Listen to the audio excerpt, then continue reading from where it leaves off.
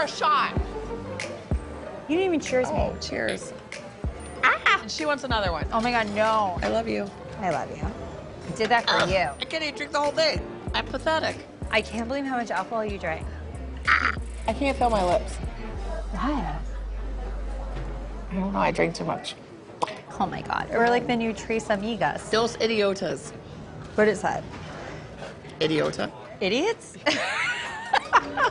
Are you gonna take it to our Braunwyn's house? Oh, It'll take you like an hour to go through it. Seriously, it's so fucking It has a nightclub. I could never live like that. I'm just saying.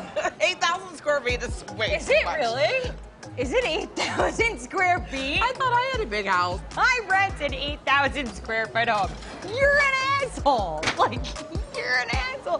Who does that? I don't know. It's like taking like twenty thousand dollars a month and like ripping it up and throw it in the A trash can. thousand square foot per child. yeah. I think that when it comes to Braunwyn, it's all just smoke and mirrors, and her house is kind of part of that. I firmly believe she is completely full of shit. Where's the money come from? I don't think he has a real job, so I'm confused. Hooker. She's a hooker? Him. He's 100%. Is that what the sex department is? There's transactions.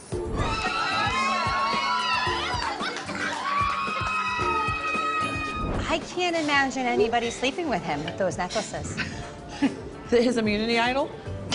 I feel bad I because just wanna let you know I'm Braunwyn was sorry. texting me while I was talking shit about her. Give her a call. You want to call her? We're gonna call Braunwyn.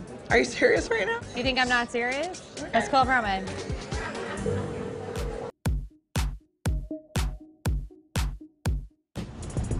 Yes. Have fun. We're in a van? Hey, come get in. Oh, you're driving. There's a fear that I'm gonna lose Shannon as a friend because we've always been drinking buddies. Come on, Brian, let's show him how we did it. I was hoping maybe we could go out and have a cocktail.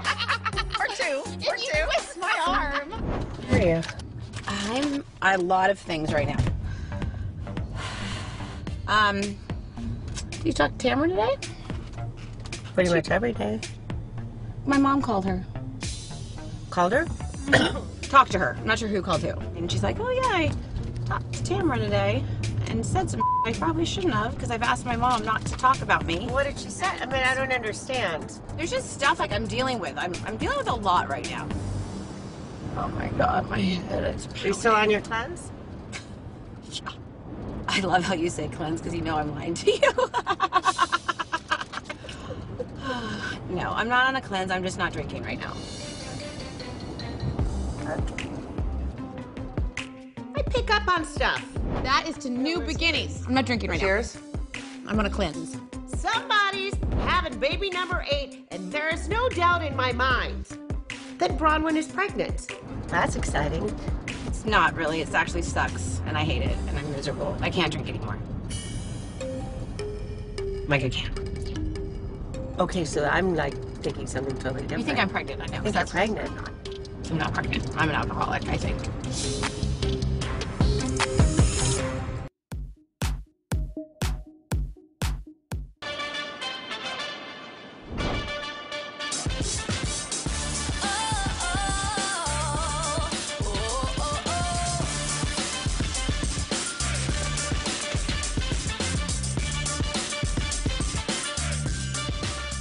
Annabelle, can I take a picture of you by your cake? Yeah. Okay, look at mom. Perfect. Annabelle turning seven is so weird to me. She like talks with her hands on her hips all the time and she has an attitude and she went from like a little girl to like a 17 year old. It's sad. I cry at night. Okay, Braunwyn's gonna come and she's gonna bring some of her kids and then Gina's gonna come. But the other night when I was at Braunwyn's house, she basically admitted that she has a problem with alcohol. But she asked me not to tell. So then Gina was commenting on Braunwyn's drinking and how she's always drunk. So I was just in an awkward position where I was like, yeah, she drinks all the time. Kind of like, Well, if you promise not to tell, then you shouldn't tell. right. But then I felt badly because I was kind of joining in the like, yeah, she, she's drunk all the time. So now what? Well, now they're both going to be here and they're both mad at each other. Then you came up with the magnificent idea of inviting them both here. Yes. If there's a problem, I'll just eject one of them.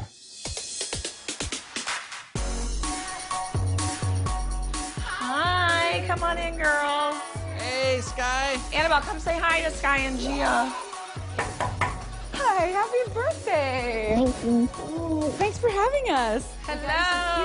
Hello. Oh, the cat mom. We're not in the middle of nowhere. We're in Laguna Niguel. Hi, Mom. Hi, how are you? Thanks for coming. Hi, nice to see you again. Thanks for coming. Of course. Oh, look at the balloons, you guys. Oh, the kitty balloon. That's like the super prize. I'm not interested in engaging in a fight at a child's birthday party.